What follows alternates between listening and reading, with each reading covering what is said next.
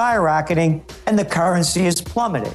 Is the economy moving? The Baltic Dry Index has hit a new low. The Baltic Dry Index is the assessment of the price of moving all of the globe's major raw materials by sea, including commodities like coal, grain, and iron ore.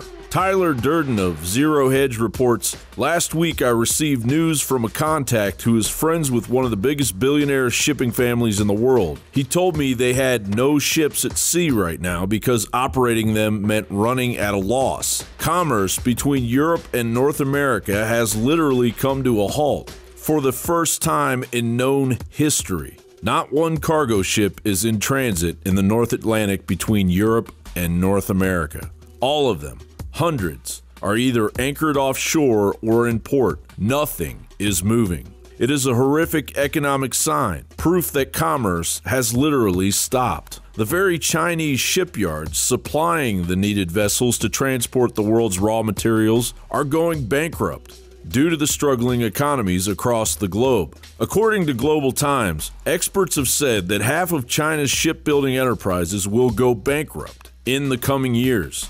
Other signs of a sinking ship? Graham Summers of Zero Hedge reports that the bursting of the bond bubble has begun. The bond bubble was close to 80 trillion in size going into 2008. Globally, the bond bubble has grown by more than 20 trillion since 2008. Today, it is north of 100 trillion with an additional 555 plus trillion in derivatives. Globally, over 50% of all corporate bonds are now junk. In the UK, you have uh, the ability to sell the same bond an infinite number of times. In, in the United States, you're limited. You can't sell the same bond an infinite number of times. You can sell it a few times and claim that it has a collateral value. But in the UK, and this is why all of the major banks and all the major countries, treasuries, outsource their fraud to the UK. This is why the UK is responsible for the Lehman collapse, the AIG collapse, the Bernie Madoff collapse, the London whale from JP Morgan collapse, because everyone outsources their fraud to the UK because the UK is where you can commit egregious fraudulent financial behavior. The Dow Jones has lost 1,500 points in 10 days and still has a lot further to fall. The fragility of the markets are worse than pre 2008. One minor trigger could send the globe into, at the very least, yet another major recession. Regardless, Obama will hear none of that. Anyone claiming that America's economy is in decline is peddling fiction. Jon Bowne for Infowars.com.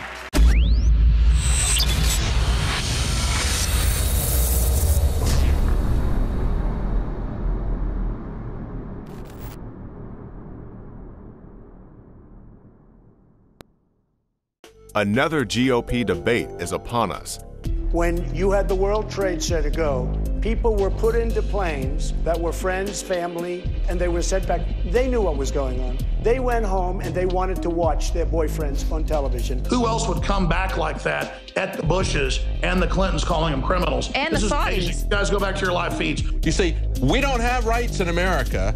Only the people who are outside of this country have a right. The only right, Right. that anybody has is to come live in America, presumably to live off of us if that's what they choose. They can come live off of us. They can come uh, create war in our country. That's their right.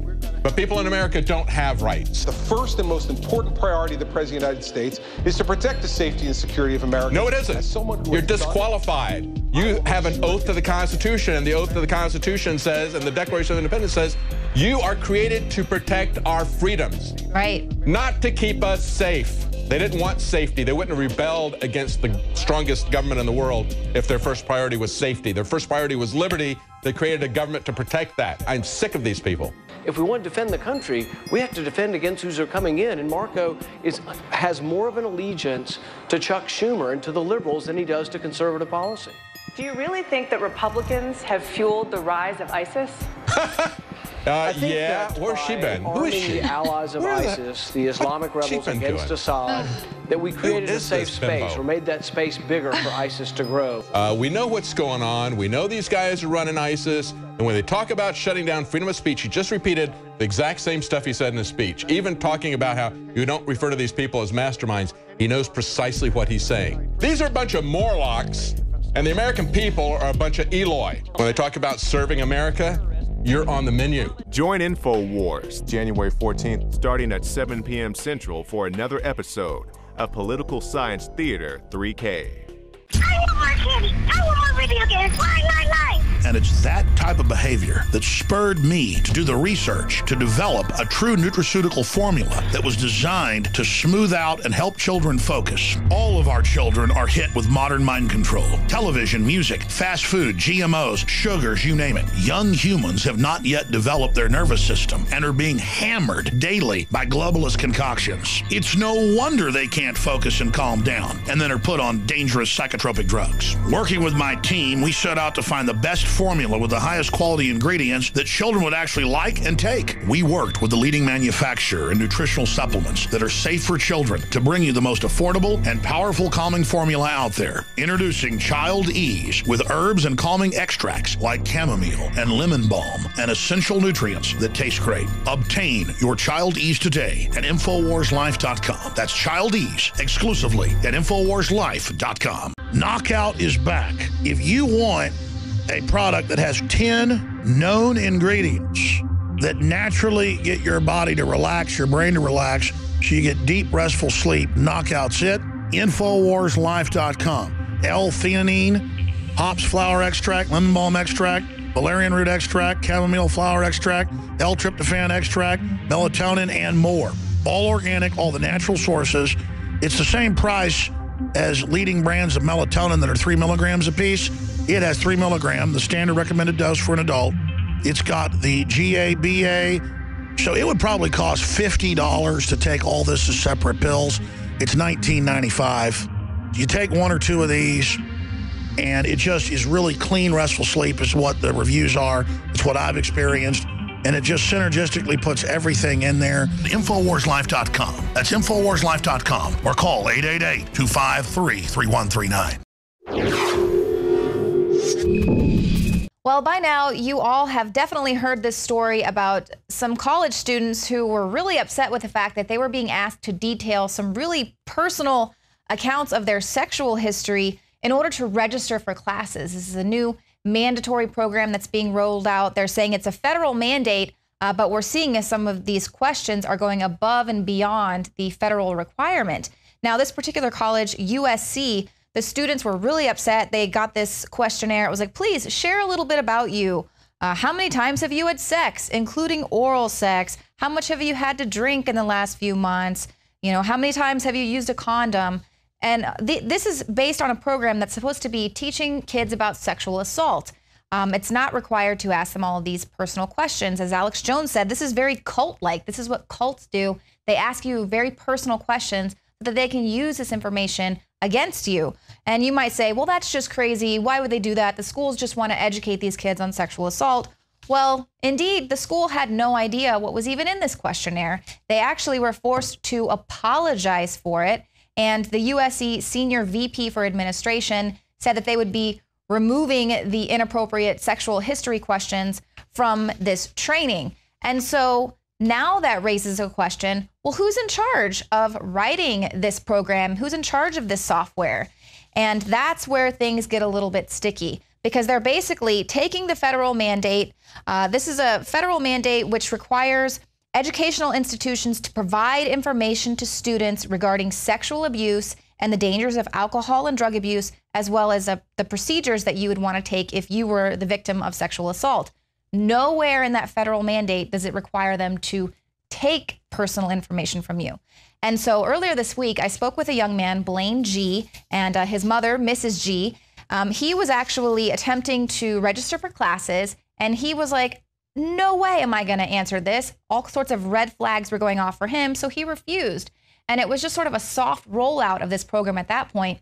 Well, now it's a semester later, and now it's a requirement. And he's actually been shut out from registering from his classes. And so, rightly, his mom did a lot of legwork, and she was pissed about what she found. And she shared a lot of the information with us.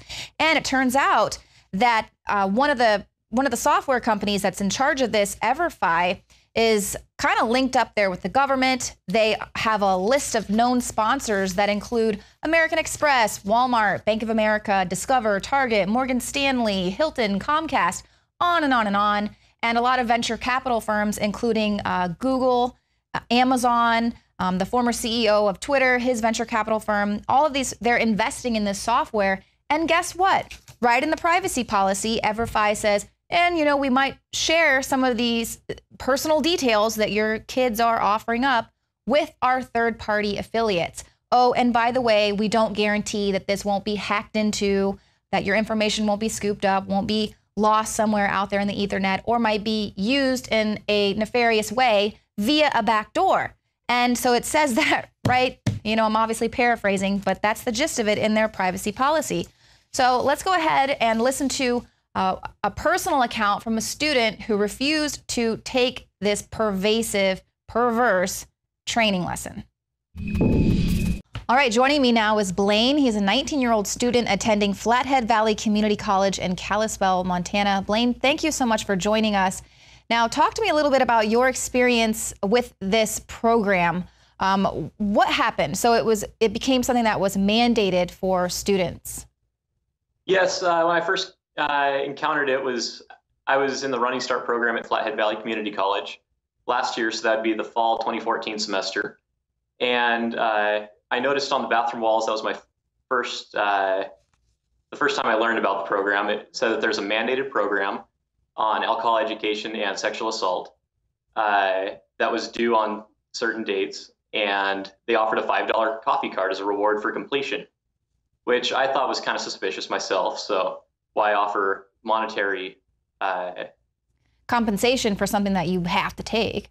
Yeah, something that's mandatory. Mm-hmm. I looked into it and I found that it was a soft rollout that year, that it actually was not required, and that they were going to be making it a hard requirement as of spring 2016 semester. So as they uh, as I've progressed this last semester, they've also required uh, by certain dates, and they have offered uh, more monetary compensation in the form of pizza cards and such. But uh, I have currently been refusing to take the program and hmm. am trying to get a waiver currently. And so, what's your problem with the program? Like, what are some of the questions that you feel are intrusive? And obviously, I know uh, sort of tr- tr- trying to coax kids into taking this, signing up for this program and offering up your personal information with coffee and $5 gift cards uh, should definitely raise some flags. But what else was it about it that really put you off? Well, it's actually uh, the main thing with the Haven program, which there's two parts to it. There's alcohol education and Haven, and the Haven is the sexual assault uh, prevention portion.